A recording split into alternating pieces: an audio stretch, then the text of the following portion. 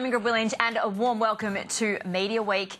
Ahead on the program today, it's a packed up show because it's been a big week for media results, of course, with outdoor advertising and Nine Entertainment as well in focus. We'll delve into what it means for the next 12 months in the media industry a little later in the program. Plus, Pacific Magazines to close the print editions of four titles. We'll tell you who got the chop a little later as well.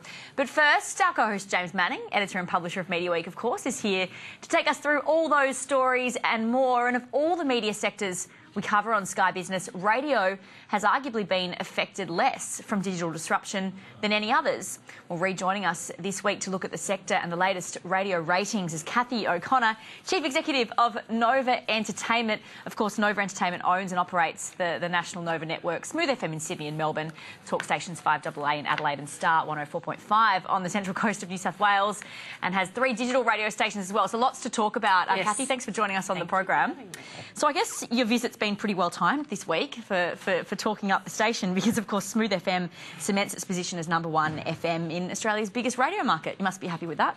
Yes, we're very, very proud of Smooth FM. So it's, um, I think it's not, I wouldn't say beyond our expectations, but we're just so optimistic about the radio station because it just keeps, um, through consistency, really, delivering and growing and growing uh, in, a, in a reasonably competitive marketplace. So I think it's a vote for consistency. Yep. Uh, it's probably also a vote for just doing something different. And I think the radio sector is very competitive, and so you get a lot of investment, particularly in that hit radio space.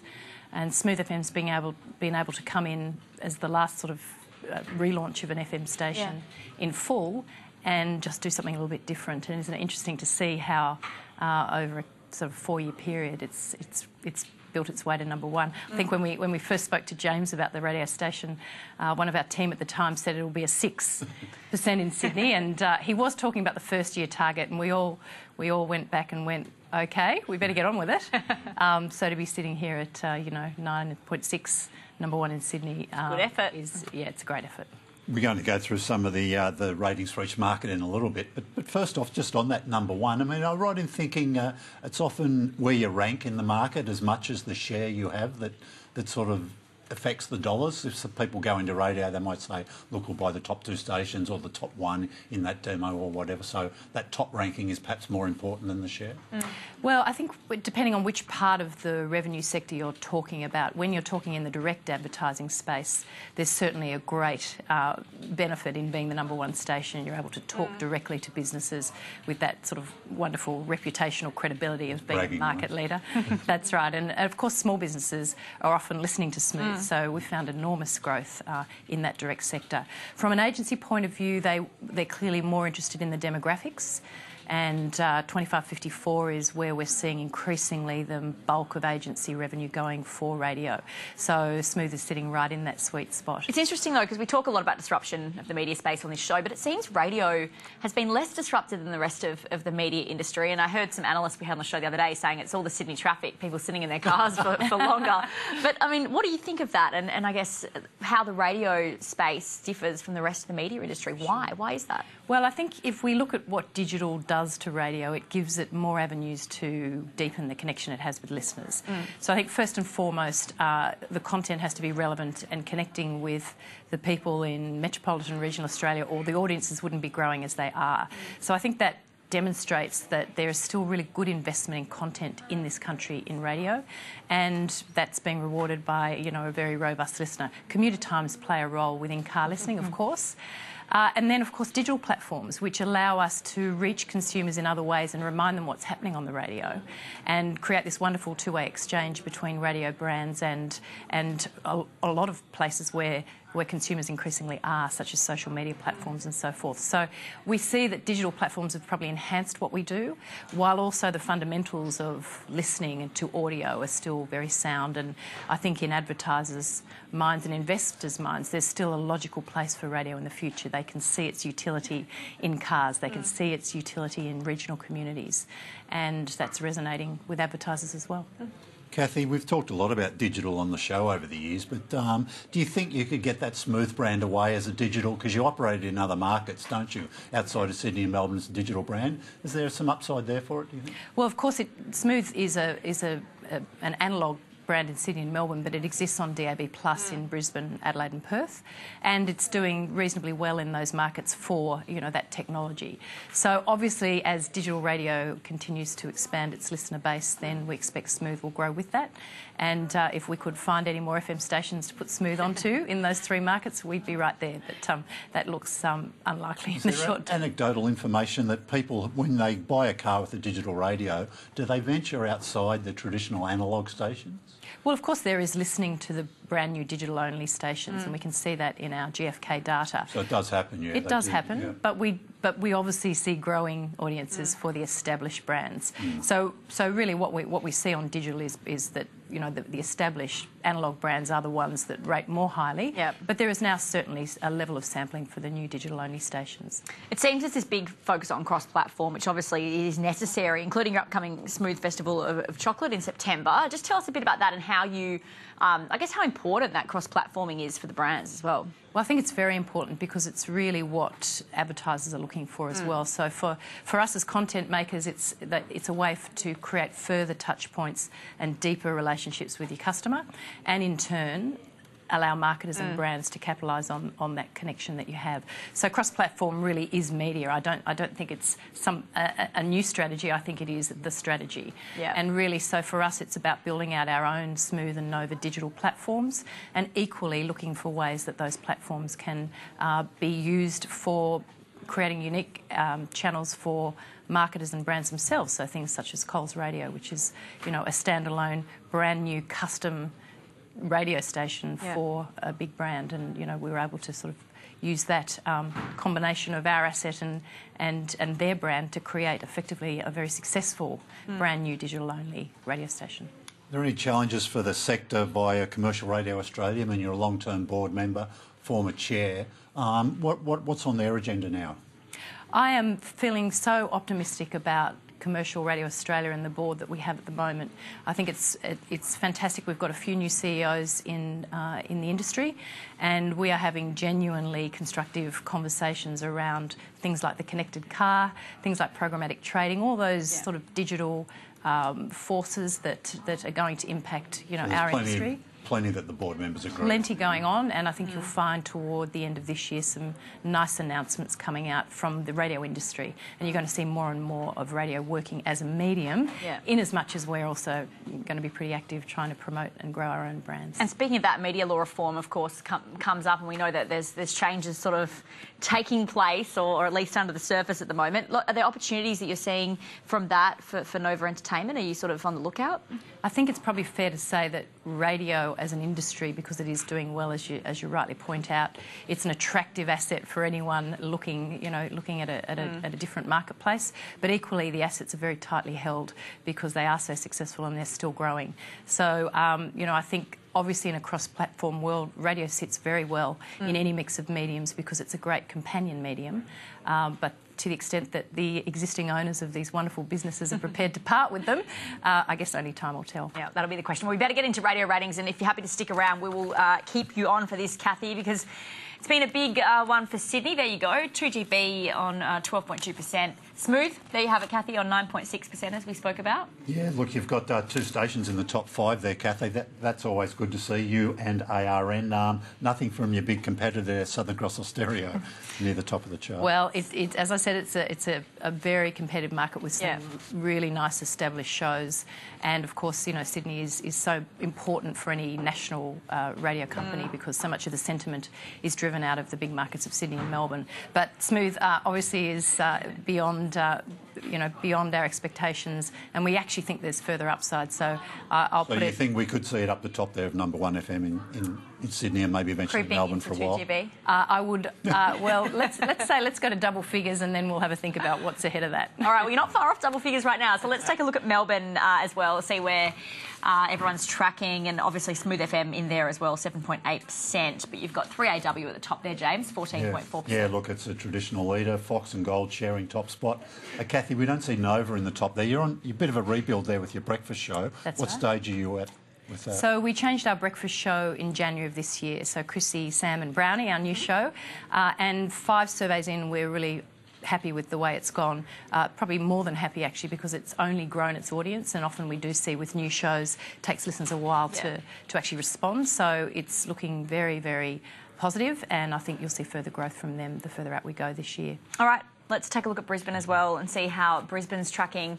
Uh, on the screen, Nova top spot there, 14.4%. So that's good to see for, for you, Cathy. Yes, it's a record share for Nova up there. This is looking like a setup, isn't it? I picked Well, that's why we got you well. on. That's right. And, uh, you know, Brisbane again, 97.3, a very strong radio brand. I think probably those two stations over the recent history of Brisbane really have been without competition, and we see sort of a continuation. you're a shareholder in 97.3 anyway. Yeah, we might be as well. So you're, you're very happy about that, uh, Adelaide? Yeah, let's bring up Adelaide and take a look. Again, Mix, uh, Mix has gone back. Mix had a bit of a troubled year um, in 2015. They did some, um, you know, reprogramming there. think they've ironed out some of the bugs, which look to be uh, been successful so far. Nova's had a pretty good time of it there, though, in Adelaide recently too, hasn't it? Yes, look, it is more competitive in that hit space uh, in Adelaide, but I would say that um, you know Mix certainly has been a, a, historically a very strong station. It's got a nice market market position, and we obviously see 5AA as a commercial talk proposition still very strong in that market as well. Yeah. All right, let's take a look at Perth as well to end up uh, the states. There's Perth Mix as well on top there. Yeah, now, you've been really firing in Perth with your breakfast show at Nova, hasn't it? It's been number Yeah, one for quite a, a, while then. it's been a leading show for, for some time. Uh, it's been on the air for a long time. Obviously, Perth are, have grown up with Nathan, Nat, and Sean. We're very proud of their achievements, and that really underpins the strength and the growth that we've had over there. Yeah, 96 FM's the new ARN acquisition over there, been going through a little bit of pain as they try and find their feet in the market. Yeah, well, that often happens under. They've been spending money. Is there more money being spent in Perth? Yeah, it's a, it's a competitive market. We, we sort of see Austereo very active over there, as are we, and as our, as our 96 FM. Uh, so, you know, I think it's a it's a strong market. It's the third largest in Australia, and therefore, sorry, fourth largest. But therefore, um, you know, I think we've uh, we've got a lot to play for over there. But really happy with the way it's gone for Nova. All right, unfortunately, Great we're out to of get time. your insights. One more from James. No, no, I was just saying it's, it's great to get Cathy in. Yeah. Week we've been doing so well. That's- yeah, exactly. Well, that's why we got you. So thanks so much for coming on, Cathy. Appreciate your time. Cathy O'Connor, there, Chief Executive of Nova Entertainment, joining us live. We will take a quick break now on the program. Coming up next, though, reporting season continues with several media players revealing their performance over the past year. Details with James Manning next.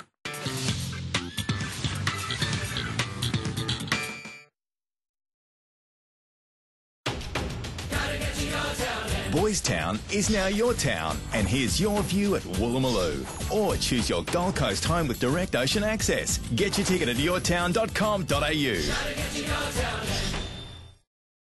Where do you spend the most time sitting? Your couch? Your car? What about your office? All that time spent in a chair has made sitting the new smoking because your body was built for more than sitting.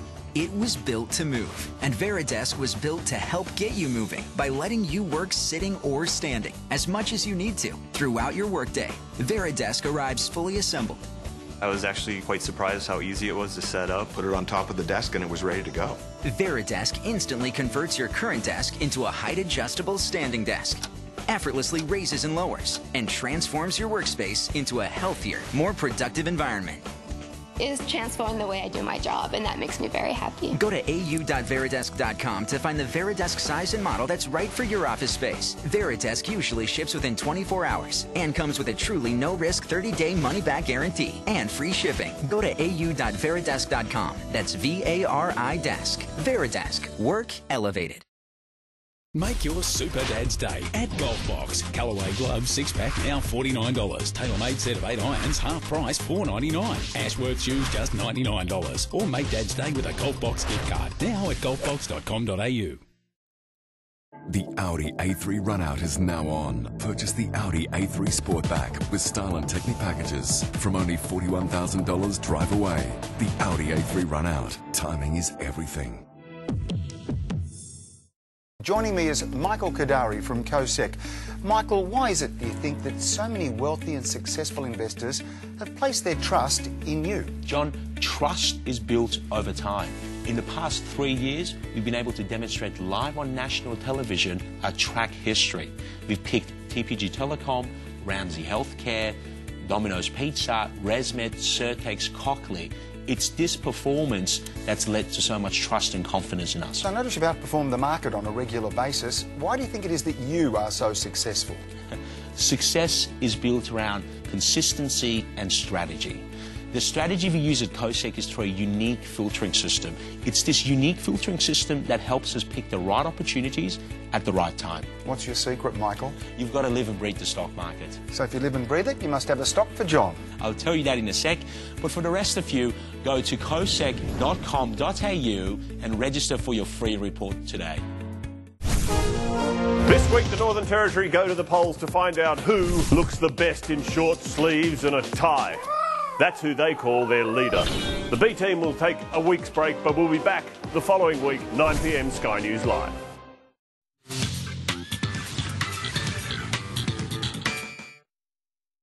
Welcome back to Media Week. Reporting season continues, and there's been some more big names in media companies revealing how they performed in the 2016 financial year. So here's Ben Le Brun from OptionsXpress for the latest numbers. An interesting performance from some media stocks today that reported their earnings, in particular Southern Cross Media, which has come in much stronger than what the market was uh, anticipating. They've seen growth in uh, all divisions of their business, and they're also anticipating some uh, ad revenue growth, which has been a very, very rare story uh, right across the media spectrum uh, so far in earnings season, and uh, well, for at least the last 24 months and possibly longer. So shares having a pretty good day for Southern Cross Media at this stage.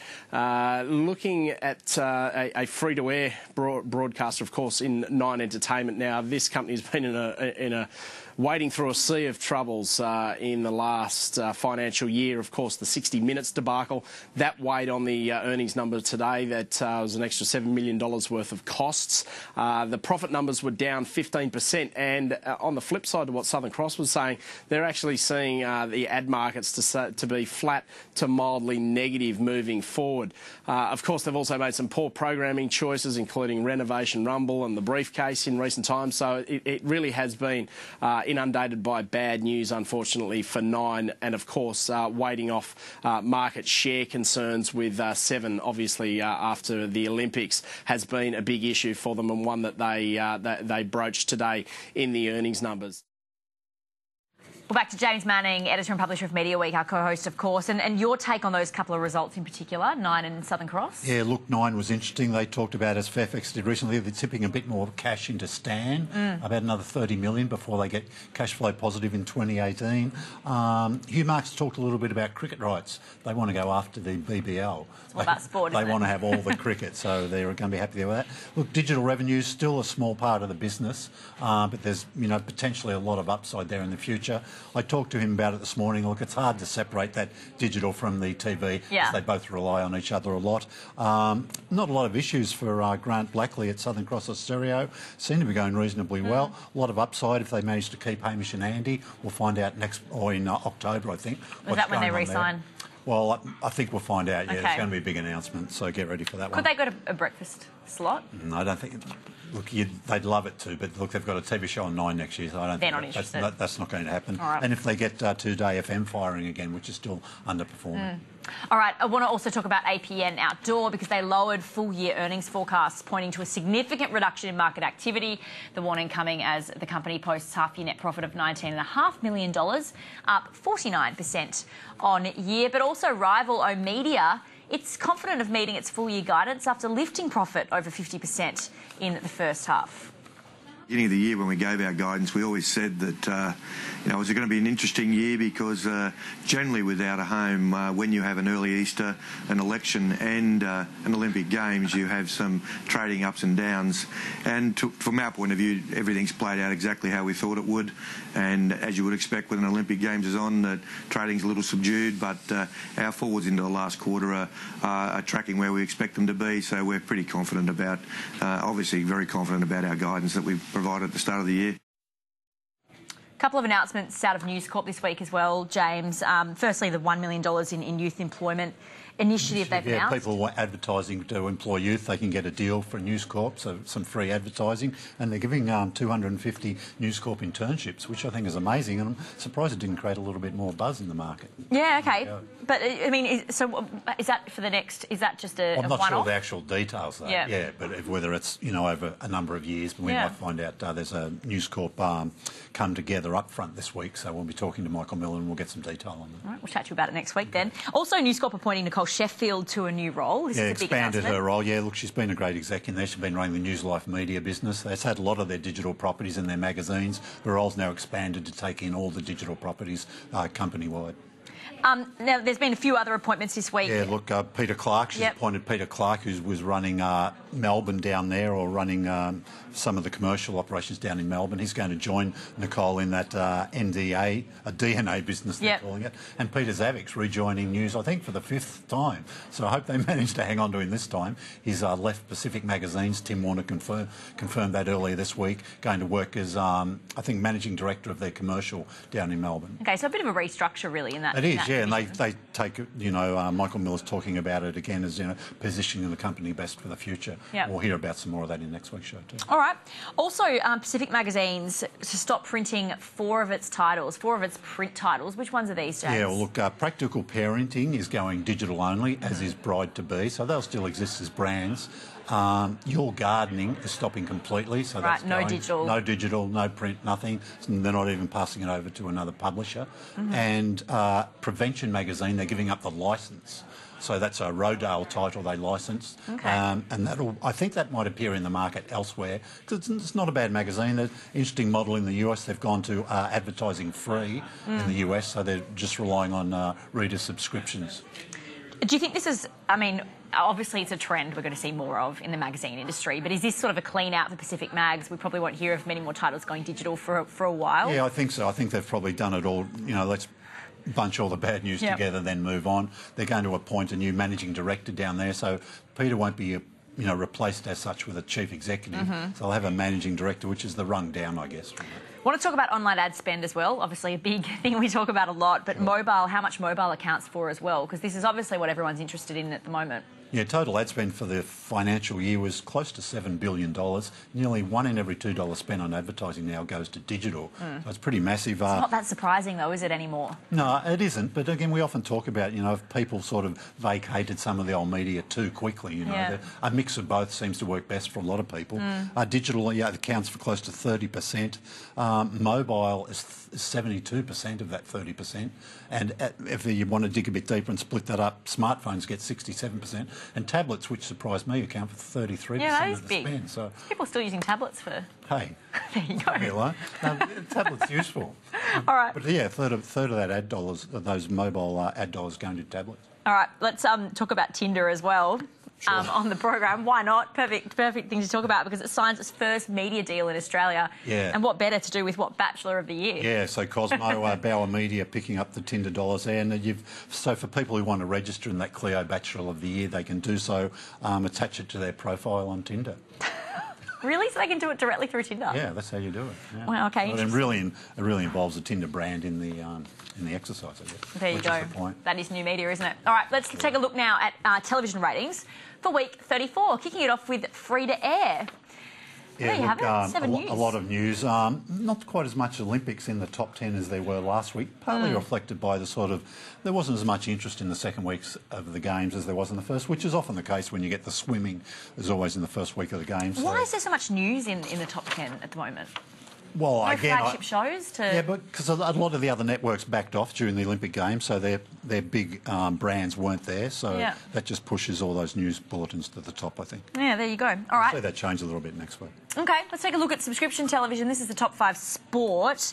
NRL topping it. You've got some AFL in there as well. Yeah, Bledisloe Cup uh, turning up there in the middle, the first of those three games. That's not surprising then. And No, two, two we're NRL week games. away from finals for um, both those codes. Yeah, okay. And then non-sport, top five. Uh, you've got the Kettering incident, which comes in number one. That's Yeah, been pretty be- successful. Yeah, that'll be the final episode of that one. Um, and then a lot of uh, Fox 8 content, still a movie up there, Bridge of Spies. Okay, there you go, and the recruit rounding out the top five there. Um, now, speaking of television, seeing ourselves, uh, talk about this the release of a five year report into diversity in television drama. And this is done by Screen Australia. Yeah, look, there's been lots of calls for, you know, we should be representing the, the population makeup of Australia more in, when the country's portrayed on screen. So Mm. Screen Australia analysed 199 dramas that have been screened over the past five years. 18% of the cast members of those dramas were from a non-Anglo background, when the population of Australia is 32% from that Mm. sort of non-Anglo background. So they're just saying, look, there's probably, there's probably that's a good reason we should be, you know, being more representative of the population. And they noted, look, there is an appetite for change out there in the industry. They expect they expect those numbers to change dramatically over the next few years. All right, one we'll keep an eye on. And switching gears a bit to the project, Carrie Bickmore, of course, the big hair colour change. Yeah. But there's no deal with with Garnier for the project, right? This is very specific Correct. Yeah. Look, um, Carrie's sponsored by uh, Garnier. She's sort of a spokesperson for the brand, and um, seems to look a pretty good idea. To me, it was a bit unusual to have a, a newsreader as such, and some people said, "Well, is Carrie a newsreader or not?" But she- Journalist, She, yeah. reads the news bulletins on the, on the show. Ten's always said, "Look, it's news done differently."